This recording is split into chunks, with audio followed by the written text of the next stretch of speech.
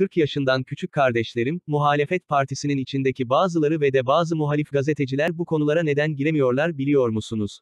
Benden gıcık kaptıkları için, siz onlara haklı olarak kızıyorsunuz. Onlar da devamlı diyorlar ki ama biz bunları söylemiştik. Küsüyorlar. Onları küstürmeyin, sevin onları. Çünkü onların da tedaviye ihtiyacı var. Onlara sevgi terapisi uygulayın. Profesör, Doktor, Sedat Peker imzasıyla sözlerini bitirdi. Aylardır çektiği videolarda mecazi bir şekilde ben sizin doktorunuzum, sizi tedavi edeceğim diye özellikle vurgulayan Sedat Peker, muhalefete tedaviye ihtiyacınız var diyerek gönderme yaptı.